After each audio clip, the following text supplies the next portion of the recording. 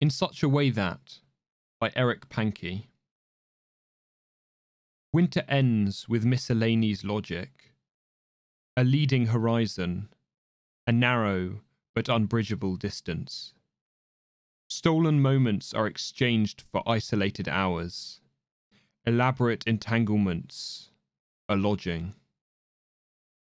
One suitable room fulfills a double assignment as a stage and shelter.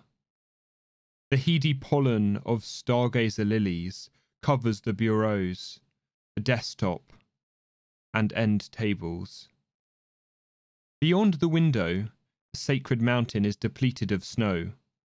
On a frequency, at the far end of the dial, one can hear vespers and recall the little Latin one learned long ago, knowing even then it would come in handy.